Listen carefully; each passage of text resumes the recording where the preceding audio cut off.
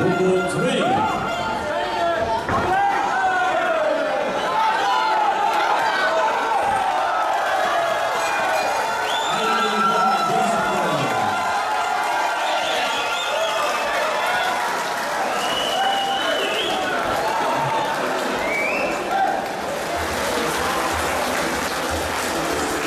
Dames en heren, bij alle evenementen ondertussen van de sectie contactsporten is er ook altijd een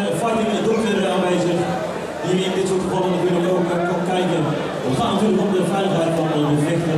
En de vijfde dokter van vandaag is eh, Marcel Vreven. Ja,